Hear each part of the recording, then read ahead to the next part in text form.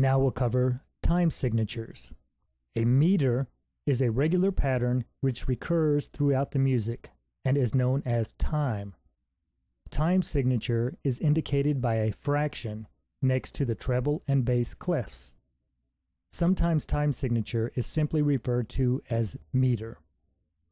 The lower number of the fraction tells us what kind of note receives one beat or downbeat, as some people call it. The upper number of the fraction tells us how many beats are in one measure. In Western music, there are two types of time signatures or meters. There's simple, and it has the upper numbers as 2, 3, or 4, and each beat is subdivided by 2.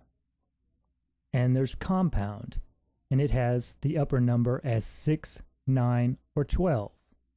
Each beat is subdivided by groups of 3. Other symbols you will see next to the clefs are the large C and the large C with a vertical line going through it.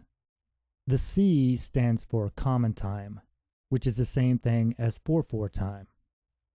The C with a line through it stands for cut time, which is the same as 4-4 time, but everything is cut in half.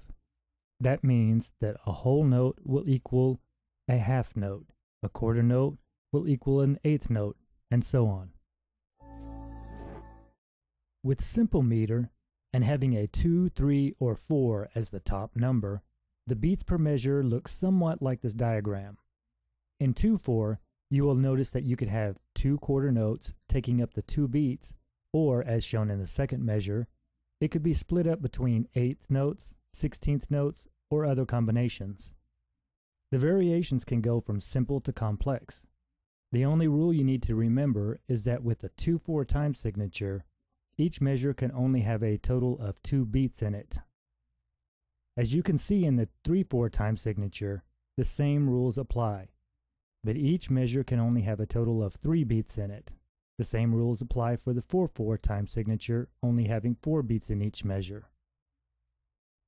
Think of a measure as a measuring cup. It holds one cup, and you can put many different measurements of liquid into it, as long as they only total one cup.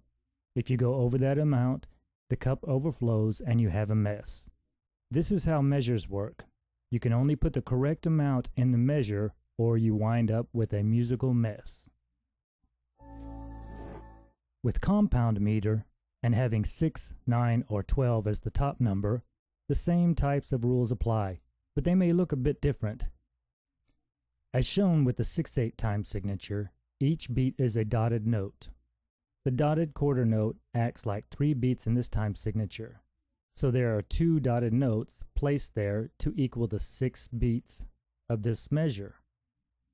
The bottom number, 8, means the eighth note gets the downbeat. The dotted quarter note is the same as three eighth notes put together, so that is why there's two dotted quarter notes. That would equal 6. I know this sounds a bit confusing right now, but in video 2 we will be covering these types of notes and rhythms in more detail. Now we will cover simple time signatures. With the 2-4 time signature, the quarter note, represented by the bottom 4, gets the downbeat with 2 beats per measure. With the 3-4 time signature, the quarter note, represented by the bottom 4, gets the downbeat with 3 beats per measure. With the 4-4 time signature, the quarter note, represented by the bottom 4 again, gets the downbeat with 4 beats per measure. The 4-4 time signature is the time signature most often used in today's modern music. The other two time signatures, 2-4 and 3-4, can be found more often in classical music.